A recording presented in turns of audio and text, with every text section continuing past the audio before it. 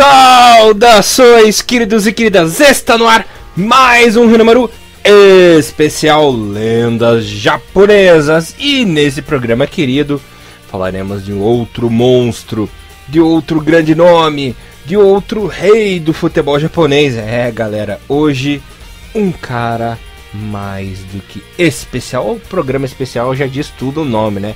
Mas enfim, nada mais, nada menos que a lenda Masashi Gon Nakayama, simplesmente o primeiro atacante, primeiro jogador japonês a marcar gols em Copa do Mundo, né? Bom, antes de a gente começar toda essa trajetória, contar essa história maravilhosa Nakayama, vou me apresentar, né? Como sempre, vocês estão com o Gordinho Alegria, aliás, Barbudinho Alegria, Gordinho Alegria, eu já não sou há muito tempo, aliás, sou gordinho também, mas por aí vai, né?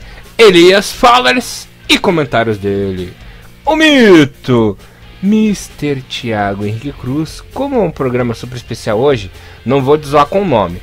Só vou perguntar: tudo bem com você, irmão? Tudo bem, tudo ótimo, Elias. Salve, salve galera. Bom dia, boa tarde, boa noite.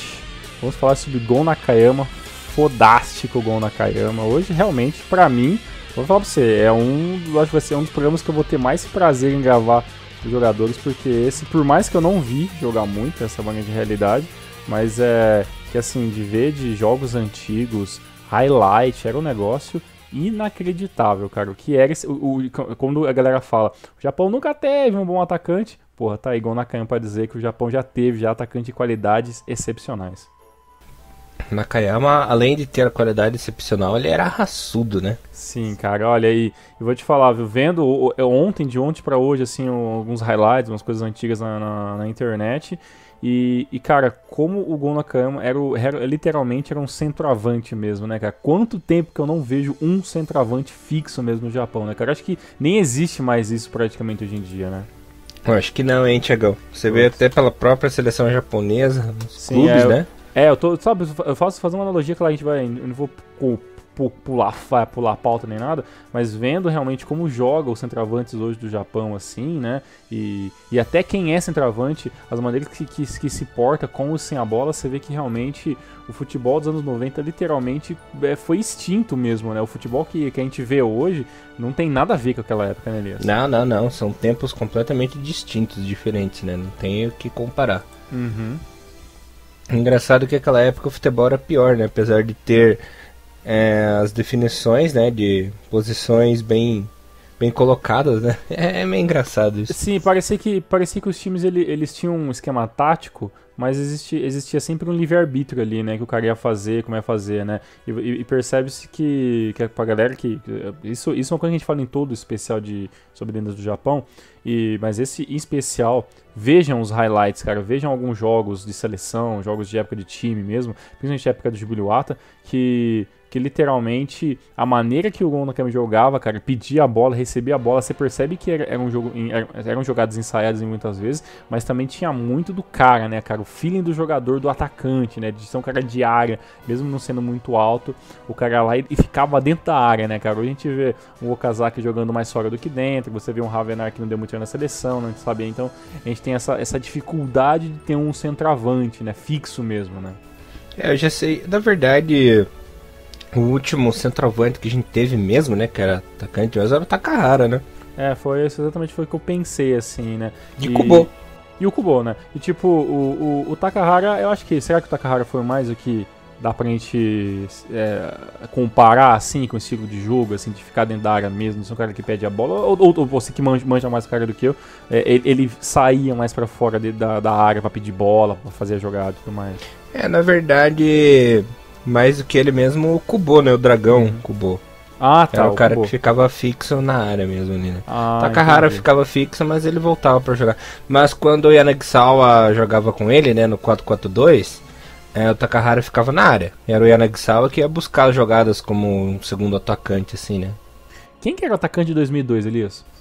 Era Yanagisawa, Nishizawa, né, jogava também. Nishizawa, cara, é, foi longe. Mas o, o ataque titular era Yanagisawa e Suzuki, né? Yanagisawa e Suzuki. Não, olha só. É porque, na verdade, em 2002 o Japão jogava no 4-4-2 então mesmo, né? Era 4-2 clássico mesmo, né? Não jogar com atacante só. Que a gente vê hoje, né? No famoso 4-5-1, né? Que na verdade, o Japão o mundo inteiro joga. Na verdade, o Japão começou jogando o Mundial de 2002 no 3-5-2, né? Ah, é? Foi um 3-5-2? É, que era o Matsuda, Morioka e o Koji Nakata na zaga. Pô, esse Elias, falo, é um P- é um PVC tá, na, Uhum. do futebol japonês. Tá de parabéns. Obrigado, velho. Ainda bem que ele não fala igual ele, igual o Frajola naquela É, né, língua meio, pra, presa. meio- meio pra dentro, né? Meio esquisito. Uhum. Mas vamos lá, o que, que temos de gol na cama desde o começo? Quem é, quem é esse cara, Elias? Muito bem, Mr. Thiago Recruz. O gol, né? Nakayama nasceu lá em 67, numa cidade pequenininha, né? Okabe, brincando no Japão. E desde, desde muito novo, né?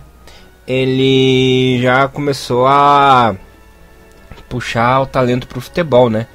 Ele começou a carreira futebolística em 83, ficou até 85 no Fujieda Higashi, né? Que é um colégio high school, né? Por assim dizer e de 86 a 89 na Universidade de Tsukuba, né? E já ganhando muito destaque.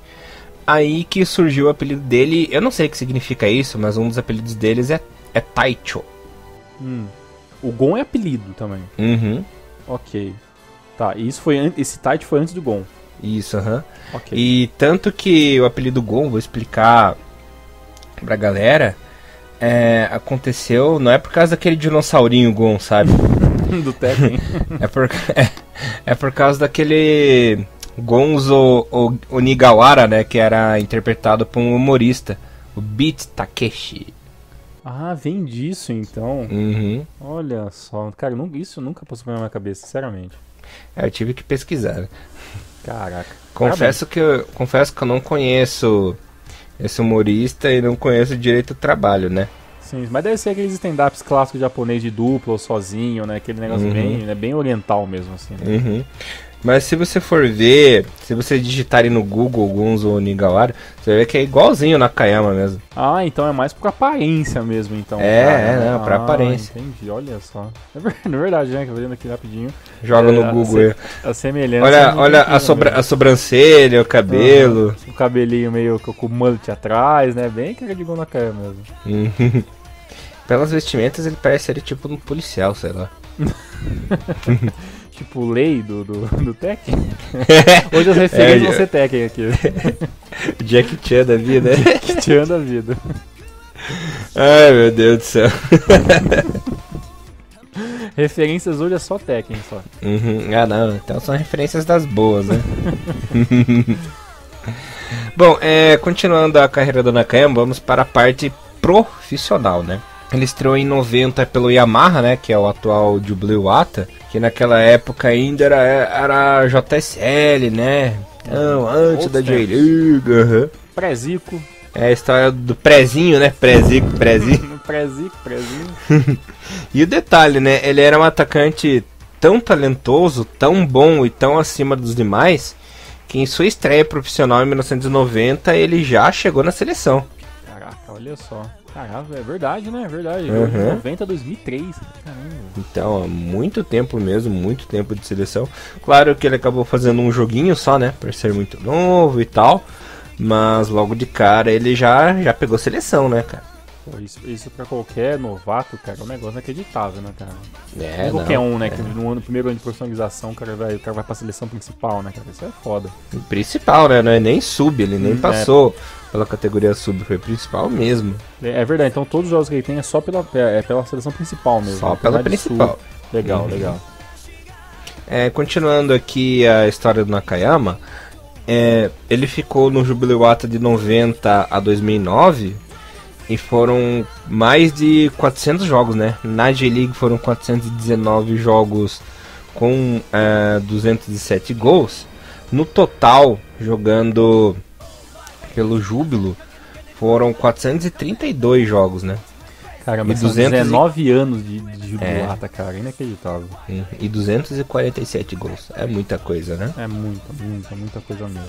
E não só é, tem várias, vários jogos e várias é, gols pelo Júbilo, como tem vários títulos também, né? Praticamente a grande parte ali do, do- do- dos títulos do Jubiluada tinha, de alguma maneira, algum da Caima no jeito, né? Uhum. Ele que foi campeão japonês em 97, 99 e 2002, né? Teve aquele título é, da FC Champions League, lembrando que o Júbilo é campeão asiático, né? No continente asiático com o título em 99. Uhum. Inclusive o time conquistou aquela tríplice coroa, né? Ganhou a Asia Champions League, ganhou a J-League e ganhou a Supercopa da Ásia, né? Em 99 também. Caraca. Eu lembro que o time de 98 é o time do Dunga. Será que no 99 o Dunga também tava do time ainda? Não, o Dunga em 99 veio pro Inter, né? Pra se aposentar. Ah, tá, beleza. Inclusive tem aquele jogo emblemático lá com o Ronaldinho dar uma caneta nele lá, lembra? Ah, foi nesse jogo. Uhum. Ah, é era, era, era, em 99. Era em 99, nossa, faz tempo, hein? Caralho, o tempo tá voando, velho. Muito, velho. Tamo velho, hein? Caralho, velho. Olha, o Ronaldinho já, tá, já, né, já acabou praticamente. É, o Ronaldinho, Ronaldinho trollou meu time, né? É, deu aquele, deu aquele miache. Isso pra quem não tá escutando isso em 2017, faz sentido nenhum essa, essa, essa, essa tá falando, né? Mas teoricamente era pro Ronaldinho ter ido pro Curitiba esse ano, né? Mas ainda mas, bem que não veio, viu? É, mas é, eu acho que é, cara, é a mesma coisa de vir Drogba pro Corinthians, né? Anel ah, não. Corinthians, né? Isso, e... Não sei se virar numa, alguma coisa. Não. Ia, ia, que ser, ia ser aquela velha história, né? Vinha o Ronaldinho que ia jogar duas partidas, ia sugar a alma do time. Claro, se no, mas, igual, é. igual fez o Fluminense, né, cara? ah, sim. Encher o cu de dinheiro aqui, ia aprontar, olha. Ia ser uma manhaca desgracenta, ainda bem Exato. que não veio. Exato, diferente, isso, isso, isso é uma coisa bem interessante, né? Porque o ouvinte do tá ouvindo, pô, mas isso não tem nada a ver com o Gon Nakayama.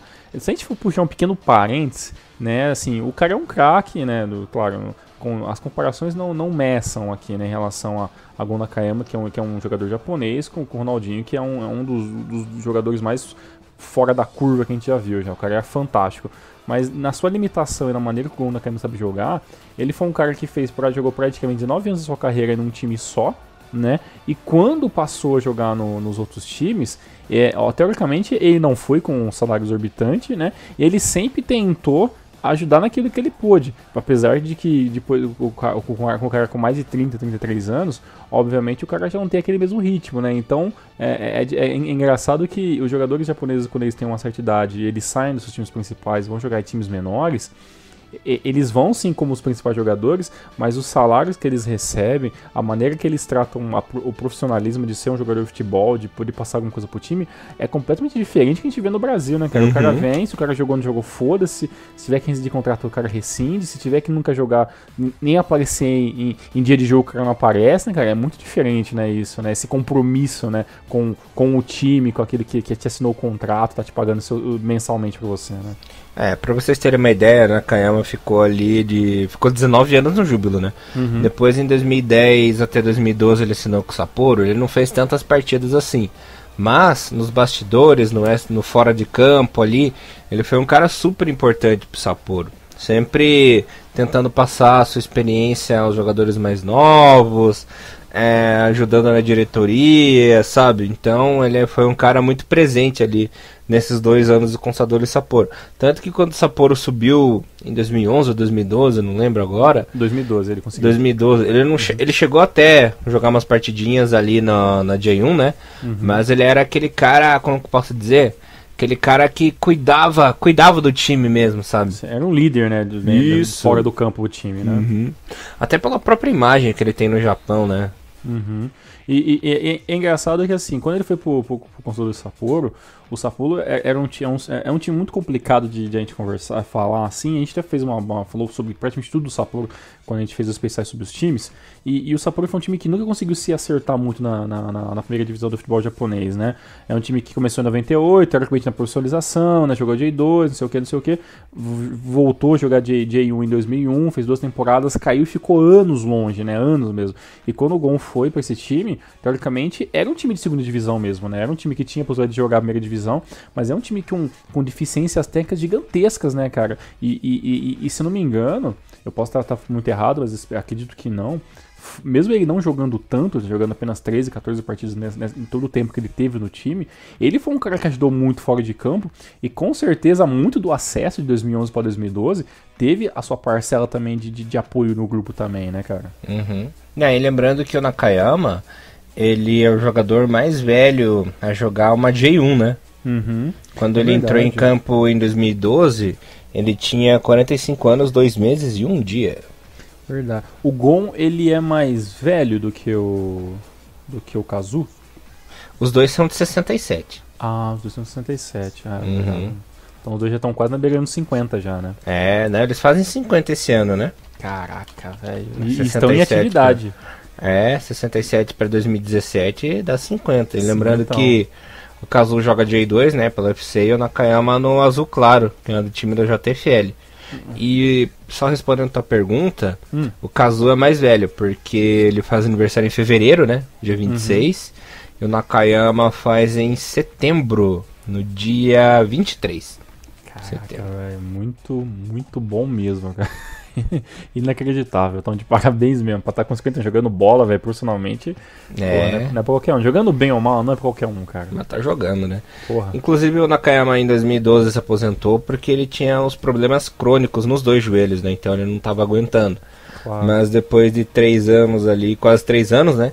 Ele uhum. aceitou o convite do Azul Claro e continuou jogando. E saiu. Porque, porque, porque a gente pensa assim, pô, por que, que o cara tem pelo menos dois joelhos, né, cara? Simples, galera. Vejam os highlights, cara. O que que, o que os gols na câmera, a grande maior parte dos gols do câmera é o seguinte: os caras cruzavam para ele, jogavam, literalmente rifavam a bola para dentro da área e ele dava um jeito de pegar essa bola de primeira, cara. Era inacreditável, cara. A, a, a pontaria que ele tinha em pegar lançamento de primeira, passe longo rasteiro, passe curto pegar de primeira, é inacreditável. Não, dentro, e... dentro da área ele fazia, um, fazia miséria, cara. Isso é tão fato que o gol, inclusive o primeiro gol do Japão em Copas do Mundo foi de um passe de cabeceio do Wagner Lopes que ele pegou no ar a bola, né? Pegou no ar e foi, né? Foi, foi uhum. o gol uhum. contra a Jamaica. A Jamaica. E, e, cara, é inacreditável. Você, pensa assim, pô, tudo bem, ele fez um gol pegando a bola de, de primeira. Tudo bem que nem todo gol que ele fez foi aquela batida seca de chape, a bola foi forte, né? Muitas vezes ele pega a bola de um jeito, mas ele pega indo pro, indo pro gol. Se o goleiro pega ou não, aí o problema é dele. E, e, é inacreditável que a maioria dos gols, cara, não tem muito gol de cabeça. São todos assim: o cruzamento alto, cruzamento médio, cruzeiro rasteiro. Ele pega, às vezes ele domina e chuta. E, e às vezes ele nem faz isso. Ele faz um malabarismo muito louco e pega meio de, meio de, de lado, ou pega quase de bicicleta, ou pega literalmente de primeira de ponta de pé, sabe? É inacreditável, cara. Ele, ele, ele é um, literalmente um, um centroavante nato, cara. Isso é incrível. É. Um detalhe que na Copa do Mundo, na minha opinião, 98, né? Indo pra uhum. parte um pouco da seleção japonesa, já me adiantando um pouco. Uhum. Em 98 ele foi o único atacante que prestou. Sim, com certeza. Foi o único uhum. que funcionou literalmente, né? Porque uhum. os demais não. É, claro, uma qualidade, uma qualidade técnica muito diferente. Uma primeira Copa do Mundo, né, cara? Todo, todo elenco japonês sentiu uma Copa do Mundo, né, cara? Era, era, era outro tipo de competição, né? Uhum. Ah, e convenhamos, o Kazu fez falta naquela Copa, né? Poderia ter Sim. feito. Então, era uma dupla, esse Gon, Gon Kazu era uma dupla que já jogava há séculos juntos, né? Então, uhum. ele sentiu o peso, sentiu a falta do Kazu ali mesmo. É, e outra que assim, né? É, você, é, é, eles eram dois caras que estavam habituados a jogar sempre, né? Poderiam dividir um pouco esse fardo de ser um atacante da seleção japonesa ou até jogar junto em campo, né? Ou jogar um no lugar do outro, independentemente da situação do jogo. E, e, e você não ter esse apoio de um jogador com qualidade que tinha o, o Kazu, principalmente em 98, literalmente meio que ficou meio que nas costas do gol, né? Se o cara que resolvesse o gol, né? Ele é literalmente o cara de seu último passe, né? E, e, é foda fazer isso, né? Tipo, em qualquer campeonatinho já é foda você ser o único centroavante do time, cara. Você imagina uma Copa do Mundo, né, cara? Nossa, é. Ainda mais com todo mundo inexperiente, né? Lembrando que o Japão em 98 era total caseiro, né? Não tinha ninguém que jogava na Europa, então o pessoal estava acostumado com um tipo de futebol só, né? Pois é, e, muito se diz, né, porque a, aquela eliminação, né, pra, pra, que não, não deixou o Japão ir para a Copa de 94, foi um baque tão grande que, que muitos diziam que talvez o Japão nem conseguiria chegar em 98, né, então, sabe assim, é, a, a, mentalidade do, daquela época do futebol é completamente diferente de hoje, né, hoje se o Japão não, não for para uma uma Copa do Mundo em 2018, é muito de uma zebra, né? Vivendo com o, cenário do futebol asiático como um todo. E, mas naquela época, foi além de ser um grande passo né, de, uma, de uma evolução de um campeonato profissional que tinha menos de 5 anos, era literalmente um, uma geração muito boa que seria um pecado se não fosse para a Copa do Mundo, né, cara? Uhum.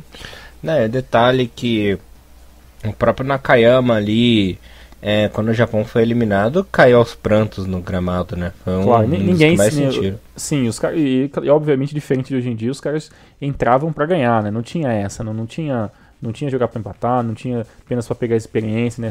Os caras não passou porque ele literalmente não tinha, talvez ali, é, um poder técnico tão elevado para passar de fase. Mas literalmente não é uma, foi, não foi uma, uma fase, uma chave tão fácil, mas no máximo que, que, que a gente pode fazer, o Japão entrou de campo tentou fazer, né? Não deu, né? Paciência. Ah, e naquela época era difícil mesmo, porque era um, um grupo só, né? Ou seja, era todo mundo contra todo mundo ali, uhum. e os dois melhores passavam e já era, né? Já Tanto era, que conversa. foi decidido no saldo de gols, né? Uhum, é, a Coreia do Sul passou o Japão por saldo de gol. Ué, foi, foi por saldo de gols também? Caramba. É, pra você ver como, que é, como era diferente, né? A Ásia não tinha muito credibilidade nenhuma, né? Só se falava em Coreia do Sul em Copa do Mundo, né? Até aquele momento. e... e e, e, o, Japão vindo, vindo um pouco meio como, como um azarão, ainda foi lá ainda e conseguiu fazer o primeiro gol em, estreia de Copa, né? Tem seleção é, que, claro. que, passa duas, três Copas aí pra conseguir fazer uhum. um gol, né, cara? É, e o detalhe assim é que se a Coreia não tivesse se classificado pra Copa, hum. é, seria vergonha, né? Porque a Coreia já tava no embalo, já eram duas Copas seguidas, né? Uhum. É, jogando, então se o Japão passasse a Coreia ali, quem ia pagar, passar vergonha era a Coreia do Sul. Tanto que, olha só, é, a chave final, vou explicar para vocês aqui, ficou da seguinte maneira: a Arábia ficou em primeiro com 7 pontos, né? Uhum. A Coreia ficou em segundo com 6 pontos e saldo de 5. E o Japão ficou com 6 pontos com saldo de 3, né? Olha, pegando a última vaga, né? Uhum. E o detalhe é que na rodada anterior o Japão havia vencido a Coreia do Sul por 1x0, um gol do Kazu. É, e lembrando que a gente já deve ter falado isso em algum outro número muito mais antigo, mas recapitulando, a Coreia era o terror da Ásia nos anos 90, era. né, cara? Uhum. Era, era o time com, com, com, uma experiência muito maior do que todos os outros países, né? E, e, e, deitava e rolava em amistoso. Tudo bem que em Copa da Ásia você vê que a, Coreia não tem, assim, um, um, um, aproveitamento tão gigante quanto é o time. Mas literalmente era um time muito raçudo que era muito superior ao time da seleção japonesa muitas vezes, né, cara? É, detalhe, desculpa usar esse termo, mas o Japão foi a verdadeira putinha da Coreia nos anos Sim, 90. Com, com certeza, não tinha, uhum. não, não tinha para ninguém, né? E eu falei, às vezes a gente, a gente vendo as Copas da Ásia, que a Coreia nem ganhou tanto assim, parece que, que sempre foi Japão, né? Sei lá, é, é, Arábia Saudita e Austrália que dominou o cenário. Mas literalmente a gente teve uma Coreia, bem, a gente precisa nem falar, né? Coreia é o quarto lugar do mundo, né, em 2002, né? Tudo bem, é, aos trancos e barrancos, tem aquela história de. aos de, roubos e barrancos, Aos né, roubos e barrancos, aos fluminenses e barrancos, mas é, chegou, né, cara? É um, é um negócio que não é irrefutável, entendeu? Não dá pra tirar dos caras, né? Então. Uhum. É. Bom, mas enfim, é, voltando ao assunto Nakayama agora, até, até me perdi aqui. a gente vai e volta, vai e volta, é. muito louco. Só falando aqui um pouco de artilharias, né? Nakayama foi artilheiro no mesmo ano do, da estreia do Japão em Copas, em 98 ele foi artilheiro da D-League com 36 gols, né? Em 2000 também ele marcou 20. E em 2002 o Takahara foi o artilheiro, né, do, do Jubilee mas o Nakayama ficou em segundo, né? O Takahara fez 36 gols e o Nakayama fez 16, né? Foi aquela famosa dupla infernal, onde o Jubilee acabou sendo campeão da J-League, né? Sem sombra de dúvidas foi a melhor equipe na época. E o Takahara, e o Takahara que inclusive se recuperava daquela lesão que ele teve no Boca, né? Que inclusive tirou ele da Copa. Uhum. Eles editaram uma das melhores duplas de todos os tempos na J-League, assim. Nesse Caraca, ano de 2002. esse, esse começo do ano 2000, cara, é, você pode assistir qualquer jogo de qualquer time, cara, que todo time tinha pelo menos ali três ou quatro jogadores que eram fora de série, né, cara? Literalmente foi anos de ouro ali, os começos, até 2006, 2007 ali, literalmente ver, essa, ver toda essa galera assim, alto nível, todos os times, né? Mas é em especial o Jubiluata, que por mais que não é um time que, que é, vem, vem passando por, por, por, uns problemas recentes e o time acabou caindo, acabou voltando e tudo mais, mas nesse começo dos anos 2000 ele literalmente tinha a bala na agulha, né, a Yamaha bancava muito bem o Jubiluata, trazia dinheiro, trazia jogador e o time voava em campo, né? Uhum. Não, realmente era um time muito bom mesmo. Bom, Tiagão, hum. é, depois disso, né, em 2015, como a gente falou, ele assinou com o Azul Claro. Uhum. E ele, aí ele teve aquela nova função, né? Ele era treinador, meio treinador, meio jogador ao mesmo tempo, assim. Certo. E, e tá lá até hoje. Mas você, será que a gente tem alguma informação sobre se ele mais joga do que é técnico? Tem alguma coisa? Porque é eu sei que é difícil, né? Quando começa a pegar esses times muito, muito menores, assim, a gente sabe que é a questão de, de ter números e ter coisa fica meio que difícil de, de encontrar, assim, né? Olha, pelo que eu pude ver, ele nem joga lá, assim. Uhum. Ele mais ajuda na, na parte externa, né? Literalmente é um manager mesmo, né? Isso, aham. E joga JFL, né? O, o azul claro, né? Isso, joga JFL. Ok, é um time recente, 1990. Interessante, tô dando uma olhadinha aqui no, no, no próprio site, tudo em japonês azul claro, e é, e é honesto, é um time que, que 2017 veio pra J3, olha, 2017 vai jogar J3, Uhum. e, é, e vai, vai seguir né, essa, esse, essa, essa- esse caminho difícil, né, de que todo time pequeno do Japão que quer conseguir passar pela burocracia e conseguir ter um bom campeonato, né, vou, vou ficar de olho nesse ano aí, na, na temporada do azul claro. Maravilha, Mr. Thiago Cruz. Mais um timinho aí pra gente ficar de olho. Uhum. É, agora falando da parte da seleção japonesa, foram 53 jogos com 21 gols anotados, né? Ele que jogou de 90 até 2003 na seleção. É muita história, né? São 13 anos de seleção japonesa, cara. E muita coisa. E, jogou, e ele acabou é, ficando mais tempo na seleção do que, do que praticamente o Kazu, né? E o detalhe, Elias, Gon não foi pra Copa 2002, né? Foi. Ele foi? Foi pra Copa 2002? Foi, foi camisa 10 ainda. Sério? Uhum. Então agora minha, minha memória meio que me, me, me pegou uma peça, cara, que eu não lembrava Pegou. dele em 2002. São duas Copas do Mundo, só que ele era banco, né? Em 2002. Ah, tá.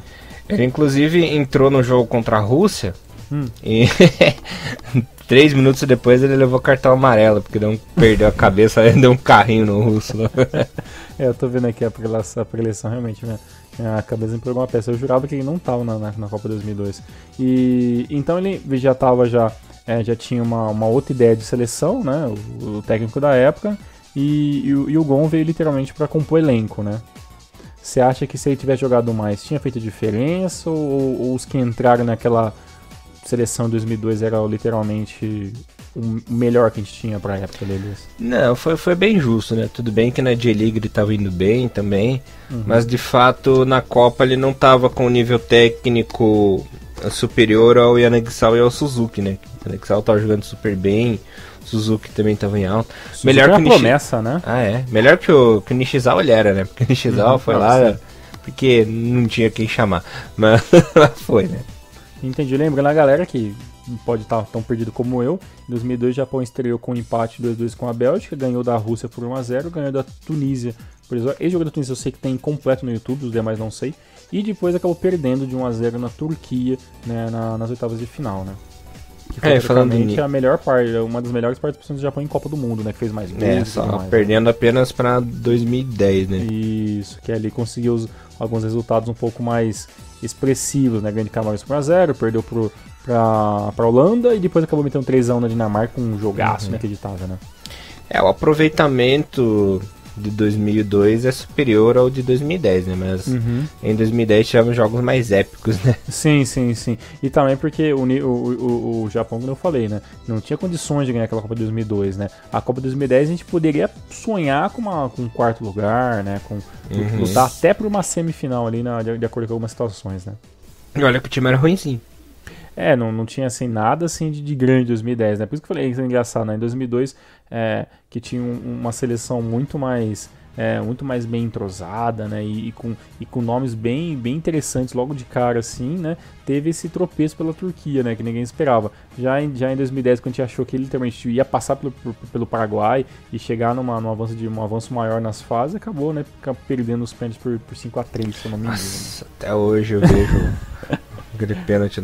Que, por que o cara colocou comando pra bater É, eu, eu pênalti? tam- eu também não sei, também eu gostaria um dia, um dia ter você puder de perguntar, cara, porque eu não lembro do comando batendo pênalti em lugar nenhum, cara. Nem eu.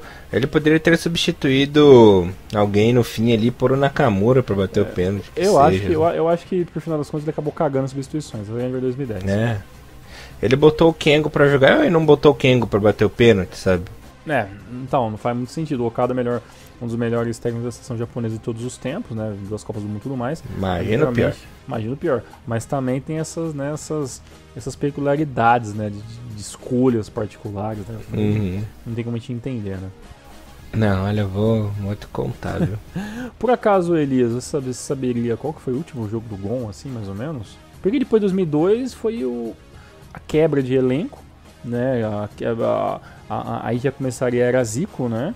E, e, e, teoricamente passou monte de jogador pela seleção japonesa e acho que nesses, nesses amistosos o Gon teve ali mais algumas chances, né, algumas, algumas chances e também acabou meio que caindo no esquecimento, né? Bom, eu não sei de precisar qual jogo foi, uhum. mas foi em 2003 a despedida dele em dos amistosos antes da Copa das Confederações, né? Em ah, 2003 lá na França. Tá. Que inclusive o Zico tava com aquela loucuragem de chamar jogador super veterano, né? Então convocava, uhum.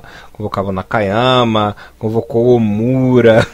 Caraca. Uhum, convocou Narahashi, sabe? Cara, ele tentou mesmo ver se os, se, os, se os veteranos resolviam os problemas de ataque da seleção, né? É, ele, ele tinha uma mania de convocar, de mesclar, né? Uhum. Inclusive até o Nanami retornou à seleção Caraca, depois de três velho. anos sem ser convocado, sabe? É, a gente não pode dizer que não teve chances, né? Mas aí os tempos eram outros já, né? Quase praticamente já beirando ali a, a ideia de criar um novo time para 2006, né? E tudo mais, com os melhores de 2002, né? Então é, literalmente faz até sentido. O, uma das coisas que eu mais lembro do, do Nakayama, Elias, é literalmente a capa do Ninja 6, né? Uhum. Que eu demorei muito para descobrir quem que era o cara. Muitos falavam que era o Nakamura. Né? E, uhum. tinha, e pra mim, não pode ser, não, é muito diferente do Nakamura, né? E era quando Nakamura na mais pura forma, sem camisa, uhum. com bola debaixo do braço e o caralho, né, cara? é, né, detalhe que ele foi capa em dois jogos, né? No Eleven 6 Hum. E no 6, Final Evolution, que daí ele tava com a camisa 10 do Japão, né? Sério? Uhum. Ah, essa imagem eu não achei. Eu achei uma imagem aqui de um jogo chamado Winning Eleven alguma coisa do Game Boy Advance. Aí o Nakamura gritando, assim, aí de rosto, assim, também sem camisa, uhum. gritando, assim, a capinha desse jogo do Game Boy Advance.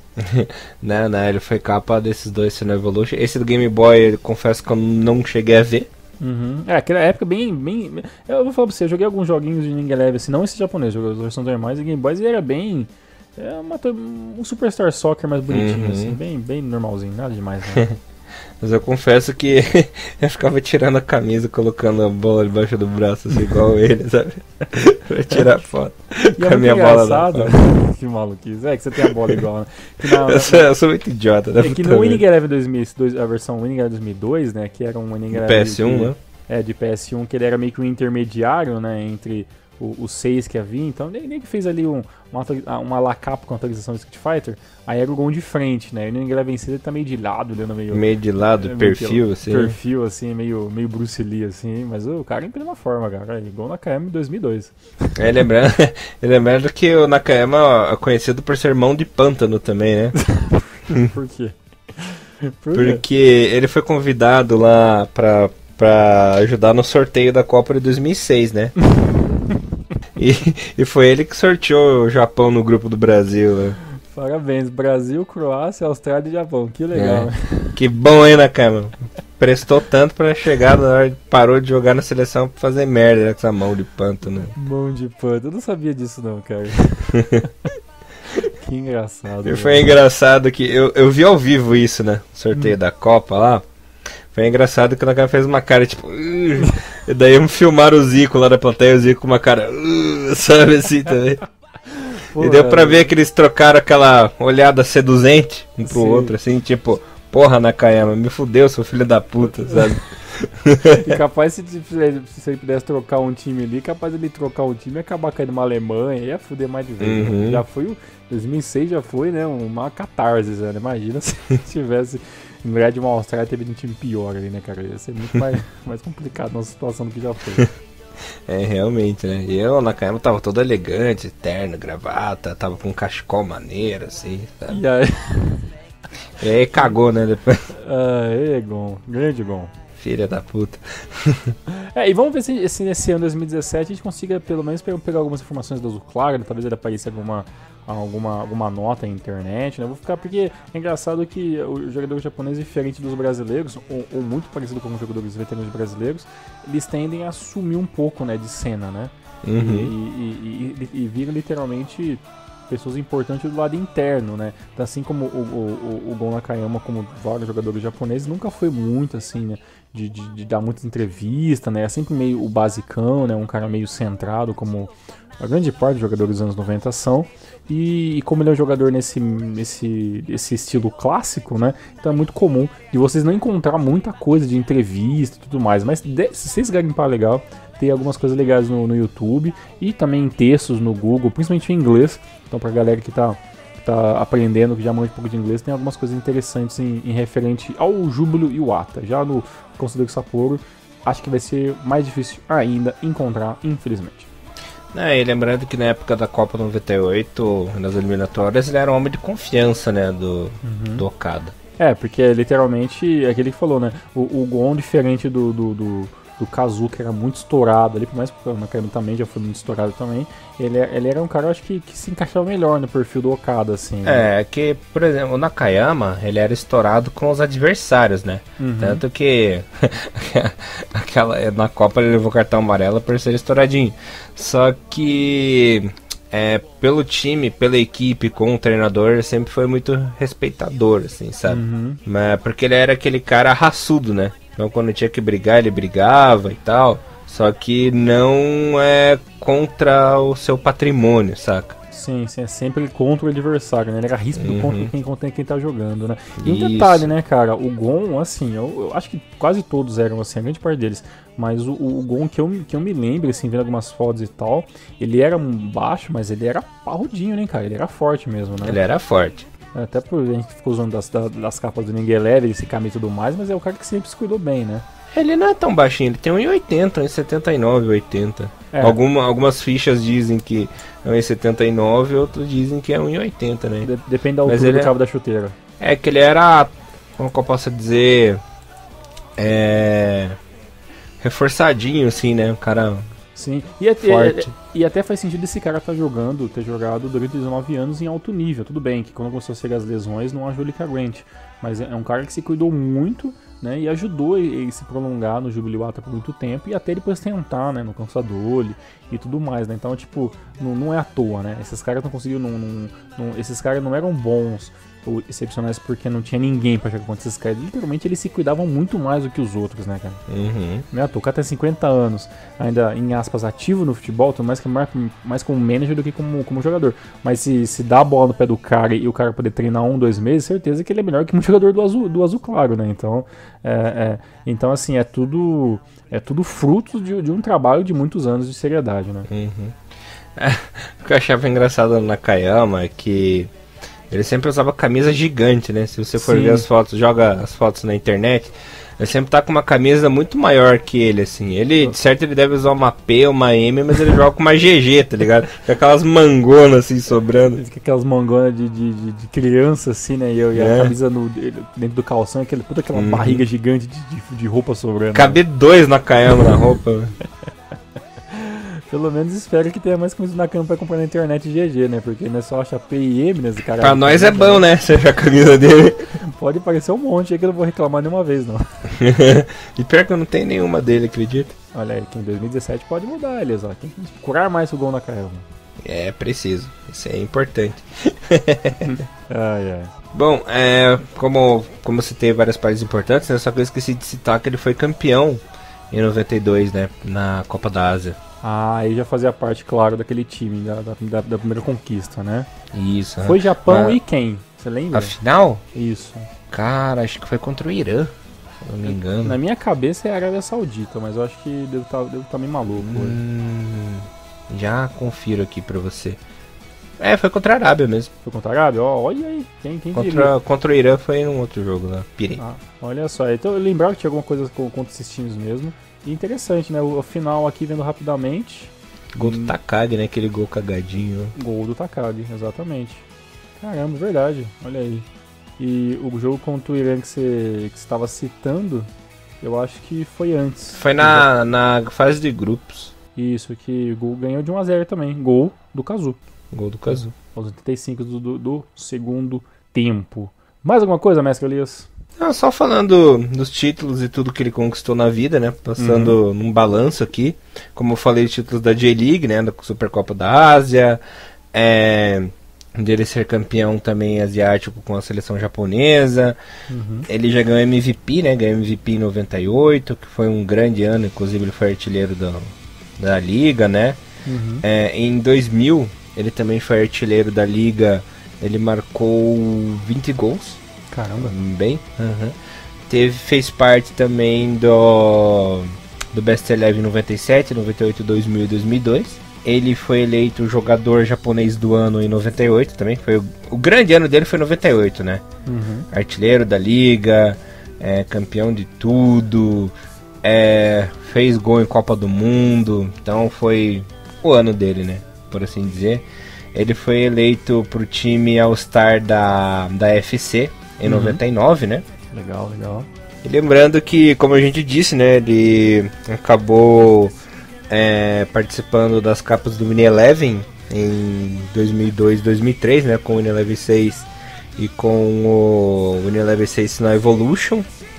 Ele também teve participação especial em um anime, naquele Hungry Heart. Isso, isso, isso que eu ia até fa falar pra galera pra fechar, né? É um anime que, assim, nem todo mundo conhece. E eu acho muito legal, eu não faz muitos anos que eu não, que eu não vejo isso.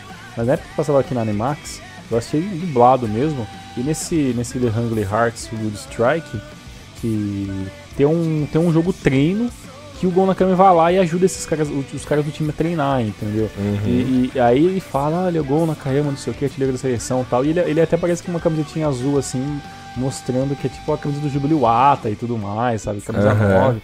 Então foi, foi, uma homenagem bem legal. E se eu não me engano, tem algum jogador, tem, obviamente deve ter, algum jogador que joga no Júbilo na, na, na, no Capitão Tsubasa, que também é uma referência ao Gon Nakayama, né? Então pra galera que manja mais dos mangás do Capitão Tsubasa, tipo o Miyoto e tal, a galera Elias também. Então, uhum. o jogador que, que faz jus ali ao Jubiluato na profissionalização é uma referência, clara, ao Gon Nakayama também, desse, desse período de ouro aí, de 19, 19 anos jogando pelo time. Não, e detalhe que, só falando da parte pessoal, ele é casado com uma atriz japonesa, né? O nome dela é Tomoko, tô tentando ler o kanji aqui que eu já, já me perdi. Tomoko Ikuta, agora é Tomoko Nakayama, né? Olha, grande gol, mas uhum. essa galera é tudo esperto, esses japoneses só orgulho. O ah, cara, cara é um mito, né? Bom, galera, espero que vocês tenham gostado do programa, tenha se divertido, assim como a gente se divertiu. Uhum. Que realmente o cara é uma lenda, né? Então a gente fez questão de fazer esse programa aí. Tiagão também espero que tenha ficado feliz. Pô, com certeza. É, as pautas difíceis desse ano vai ter pautas difíceis de marcar. Eles, ó, você quer fazer tal, tal cara ou tal cara? Aí eu fico, pô, cara, eu não, não tenho bolas pra, pra poder decidir, decidir, cara. É só jogador foda só. E assim, sem, é assim como a gente fez dos times japoneses, sobre a seleção japonesa, sobre uniforme, e tudo foi pegando informação, cada programa que a gente faz é uma coisa que, que eu me remeto àquilo que eu aprendi meio que sem querer quando eu comecei a curtir de futebol japonês e agora, sabe, eu vou tentando lembrar de coisas, vou pesquisando mais coisas, assim, o, o, nível de coisa que eu tô aprendendo é graças ao Rinomador e às Elias, que, que, é o cara, que é o cara que manja pra caralho. Então, porra, pra falar desses jogadores que a gente adora, vai ser sempre um prazer gigantesco. Obrigado. Muito obrigado. Muito obrigado. Ai, meu Deus.